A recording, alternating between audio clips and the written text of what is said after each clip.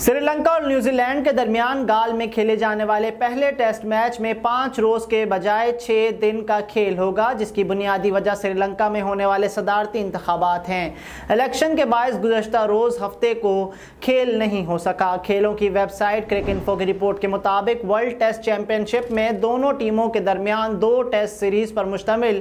पहले मैच का आगाज़ अठारह सितंबर से हुआ, तहम मैच के पाँच रोज़ के बजाय छः रोज़ा होने की वजह से श्रीलंका में होने वाली वाली सदारती इंतबात हैं। श्रीलंका और न्यूजीलैंड के दरमियान मैच के इब्तदाई तीन दिनों के खेल के बाद सदारती इलेक्शन के बाईस हफ़्ते को आराम का दिन था। इस दौरान कीवी खिलाड़ियों ने गाल के साहिल पर अपना वक्त गुजारा, जबकि श्रीलंकन खिलाड़ी इंतबी अमल में मसरूफ़ रहे।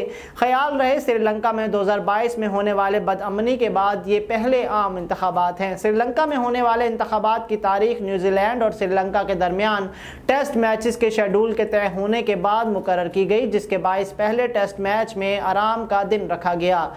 क्या इससे पहले कभी ऐसा हुआ है? इससे कबल आखिरी बार 2008 में श्रीलंका और बांग्लादेश के दरमियान खेले जाने वाले टेस्ट में ऐसा हुआ था, जिसकी वजह बांग्लादेश के पार्लिमानी इंतबात थे।